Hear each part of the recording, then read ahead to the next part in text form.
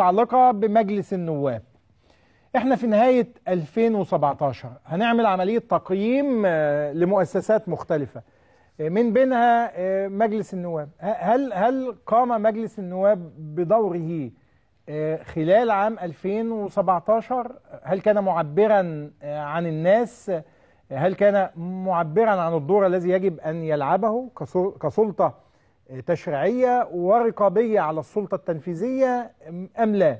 هناقش هذه القضية وهنشرك المشاهدين معاها مع ضيوفي داخل الاستوديو من أعضاء مجلس النواب اللواء ممدوح مقلد مساعد وزير الداخلية السابق سيادة اللواء أهلا بيك. أهلا وسهلا. وعضو مجلس النواب. أهلا وسهلا. آه، الأستاذ بسام فليفل عضو مجلس النواب. آه، أستاذ بسام أهلا بيك. أهلا بحضرتك. أهلا وسهلا.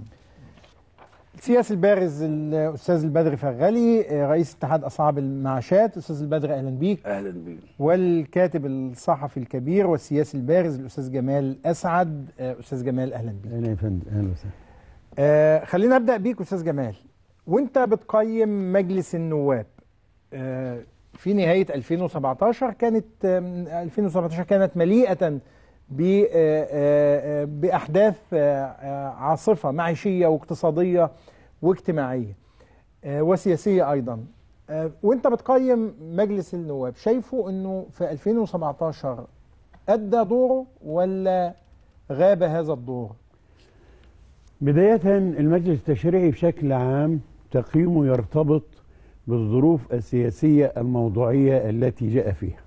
امم يعني مثلا أقيم مثلا مجلس 90 غير 95 غير 2010 غير 2016 و17 امم الظروف التي جاء فيها هذا البرلمان ظروف فيها تحديات غير عادية فيها حالة من حالات إعادة هيبة الدولة مرة أخرى فيها مشاكل اقتصادية حاكمة تأثيرها مباشر على المواطن العادي طال الطبقة المتوسطة وما فوق المتوسطة آه. فيها إرهاب حقيقي جعل مصر بتنوب عن العالم في مواجهة هذا الإرهاب في تحديات خارجية وداخلية. هنا كان لابد أن يكون هذا البرلمان متواكب مع هذا الواقع السياسي المعاش. امم حقيقة بمجمل الأمور لا أستطيع أن أقول أن البرلمان كان مواكبا أو بالمعنى الأصح حتى لا يدري به المواطن المصري. لا في مشكلة اقتصادية لا في مشكلة اجتماعية يعني مثلا آه، الضرائب التي زادت على السجاير. آه سجاير ويقول لك أنت بتدخن لو قضية هي عبء على المواطن ايا كان. يعني هو يدخن أو ما يدخنش ده قصة تاني. إنما لم يتحدث أحد مجرد هو بيختم على ما يأتي من الحكومة. وبالتالي أنا تصوري بقى بمن- بمنهج موضوعي. آه. أن التركيبة البرلمانية هي تركيبة بدأت بخلل حقيقي أدى إلى هذه النتائج. بمعنى أنه لا يوجد تكتلات حزبية ذات توجهات حزبية وسياسية ذات برنامج سياسي يمكن أن يتحول إلى برنامج برلماني إنما إحنا وجدنا عبارة عن أغلبية. هذه الأغلبية بتقوم بدور واحد ووحيد هو التأييد المطلق للحكومة أيا كان نظرها ناحية الشعب. آه ما ما فيش تكتلات زي زمان اللي ده, ده آه، اليسار وده ده اليمين سعادتك ده سعادتك وده حتى ال- الدستور الدستور لم يمثل الآن. يعني بمعنى أن مفترض أن رئيس الوزراء يأتي من الأغلبية البرلمانية. لا أستطيع أن أقول الأغلبية البرلمانية الحزبية لأنه ما يسمى بحزب جماعة حب مصر ولا آه، آه، ال- ال- الأغلبية الحالية دي اسمها إيه؟ ائتلاف دعم مصر. آه، دعم مصر. دعم مصر والحب ما أي حاجة مصر يعني. يعني يعني أنا يعني لا أعتقد. يعني كيف يكون عمليا وحزبيا ودستوريا؟ يبقى عضو حزب وينتمي لائتلاف آخر إذا لم يكن في ائتلافات حزبية. لأن دعم مصر مش آه. حزب مش ائتلاف حزبي. يعني لا طيب. أستطيع أن أقول إن ده حزب آه، أغلبية عشان نمس... نبقى نقطة نقطة أستاذ بسام موافق على كلام الأستاذ جمال أسعد؟ لا مش موافق طبعا مع احترامي الشديد ليه آه. آه ال- ال- المجلس آه لن يوجد فيه أي خلل آه مجلس مترابط جدا جدا جدا آه مجلس آه زي ما هو قال نقطة أنا بتفق معاه فيها إن مجلس بيواجه كافة التحديات الخارجية والداخلية آه مجلس آه شال أو تحمل آه أعباء وأخطاء ومشاكل آه شالها على على عاتقه من آه. آه سنوات كبيرة جدا جدا جدا. آه، الاستاذ جمال بيقول إن مفيش آه، عندنا تكتلات أو ائتلافات في في المجلس لا في موجود تكتلات. ويحترم رأيها ويحترم تدخلها. عندنا ائتلاف دعم مصر اللي ليا الشرف أنا آه، عضو فيه. آه، يزيد عن حوالي 345 نائب محترم موجودين من كافة ال ال ال ال الائتلافات أو الأحزاب اللي موجودة آه، ائتلاف دعم مصر آه، شرعي وقانوني ومشهر مش آه، مش زي ما الأستاذ جمال بيقول إن هو ملوش أي آه، آه بس والكلام ده خليني. في أهم ما قالوا إنه مجلس النواب بيبصم على اللي بتقول لا لا لا الحكومة لا يعني لا لا لا لا وهو لا مجلس نختلف. النواب وظيفته إنه يفرمل لا الحكومة لا إذا لا جمعت لا لا لا. لو كنا لو كنا بنوافق على الحكومة يا أستاذ آه، وائل آه، ما كناش إحنا وقفنا ضد الحكومة في قانون الخدمة المدنية في أول ما جينا في مجلس النواب. يعني آه. لو إحنا بنسمع الكلام أو إن إحنا مسيسين زي ما الأستاذ جمال بيقول يعني قانون الخدمة المدنية يعني يمكن إحنا وقفنا كمجلس نواب بأكمله قلنا لأ. ليه؟ لأن قانون الخدمة المدنية لو كنا كنا وافقنا فيه كنا جينا على الشعب. فإحنا آه، آه، إحنا جينا ممثلين للشعب. فعمرنا ما إحنا هنيجي آه، إن إحنا نبصم زي ما الأستاذ جمال بيقول ده يعني معلش الاستاذ جمال جه في البداية كده على أساس بس إن إحنا نكون واضحين مع بعض كده في ثلاث يعني ثلاث نقط اخطائهم في حقنا إحنا كمجلس نواب. فمعلش مع احترام لحضرتك يا لو كنا هنكمل الحلقة يعني إحنا مش هنسمح إن إحنا اتنين أنا والسياده النائب والسياده اللواء آه، ممدوح مقلد مش هنسمح لتهاون أو تجاوز أو أو أو إن إحنا لا اصل ده انتقاد لا معلش أنتقد انتقد- أي تجاوز يعني. بعد إذنك يا أستاذ وائل لو معلش مع احترام. لحضرتك.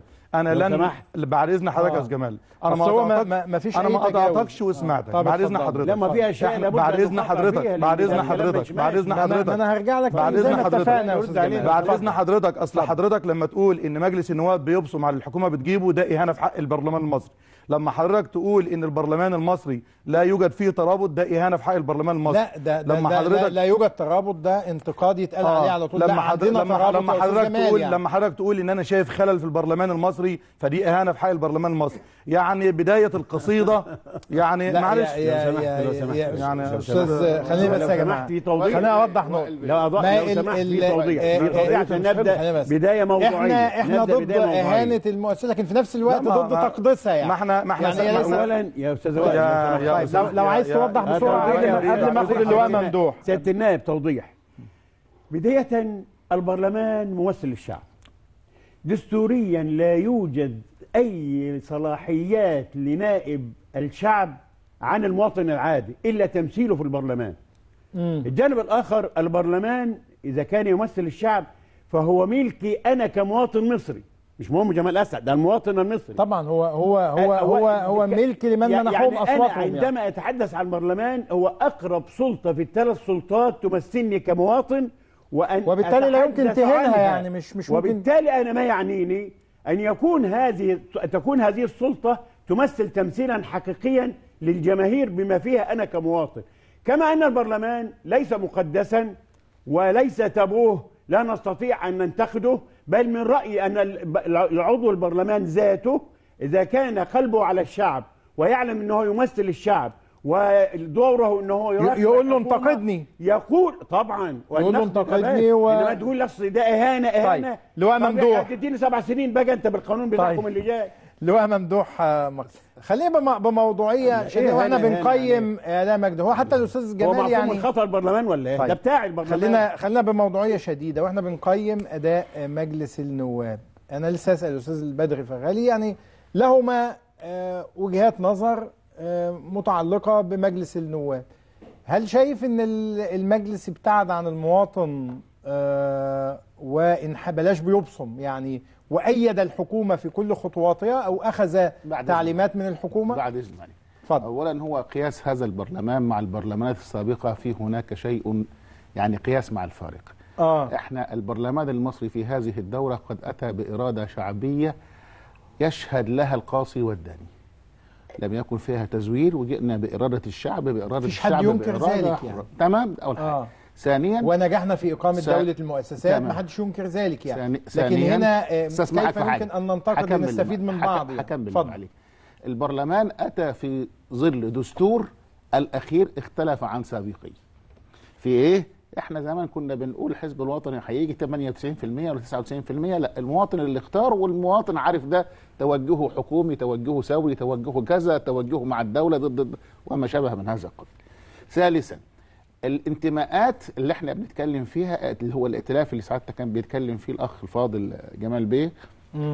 ده ائتلاف دستوري. إحنا جينا في موجب دست... بموجب دستور ما كانش الكلام ده كله فيه.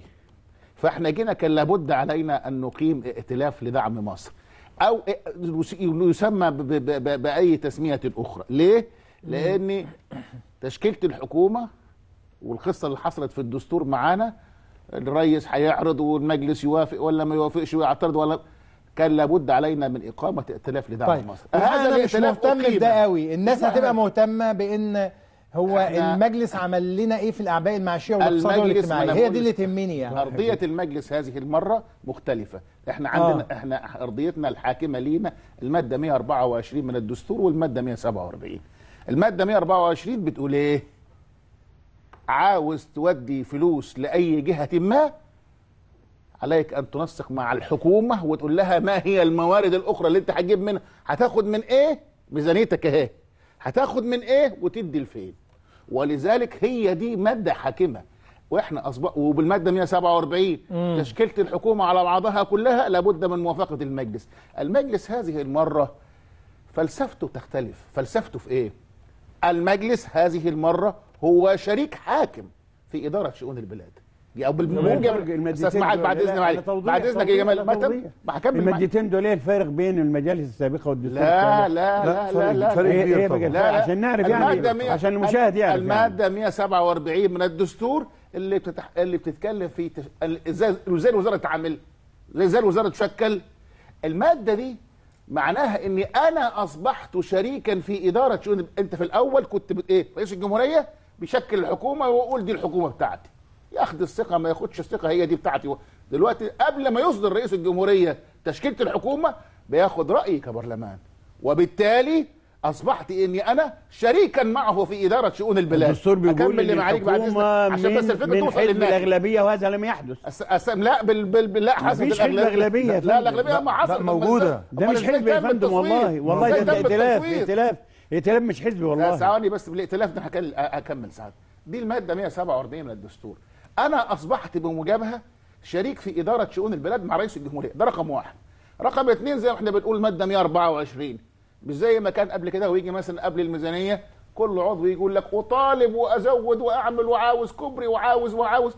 دلوقتي يقول لك لا. هتقول لي عاوز منين؟ هتخصم منين؟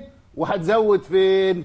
ده ده النائب اللي المطلوب إنه يجي لا يقول. الدستور اللي بيقول الدستور اللي بيقول. أنا أنا أنا انتخبت في ظل دستور بيقول كده وده بيتناقش يعني أنت عايز تعمل. كوبري في البلد فتقول اجيبه منين الفلوس بتاعته الأول بتطالب بيها عشان تقول فرضا دلوقتي ما اتعملش حساب الكوبري وإحنا مصر هت- هتاخده على حساب إيه الكوبري؟ هتاخده على حساب حساب مين؟ الصحة على حساب التعليم على حساب. التعليم وتدي وتدي لازم للكوبري لازم يكون في خطة مستقبلية ده هنا لو. سمحت دور البرلمان. متكتف، أنا إحنا على فكرة حوار حوار موضوعي بعيد عن طب اكمل اللي معاليك طب عشان لا بس ما في نقطة نقطة بس نقطة نقطة والله أنا عاوز موضوع أشرحها والله فاهم وجهة نظرك يعني أصل يعني يعني إن- هل أنت منوط بك أن توجد مصادر إيرادات للموازنة آه، المادة العامه 124 بتقول كده عظيم عظيم غير المادة ع- 124 عظيم. وأنا أقول لك هات طب وهات وهات طيب وهات. عشان بس نقف عند النقطة. دي يعني أنت عايز تقول أنا أصلا مكبل دي اللي إن أنا جيت بيها إن أنا مكبل يا جماعة لا أستطيع إن أنا أعمل لك الكوبري اللي أنت. عايزه والمستشفى اللي أنت. عايزها والمدرسة اللي أنت عايزها لا، أعمل، لا، أعمل، لا، أعمل. أستاذ وائل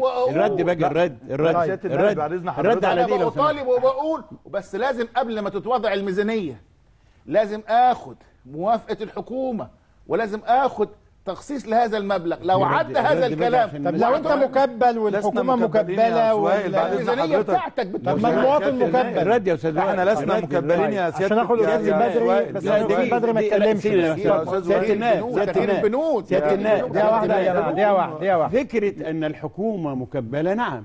أن هناك عجز في الموازنة نعم لا نقاش في ما هذا عشان كده إحنا بنقول- ولكن هنا بقى دور المجلس إيه؟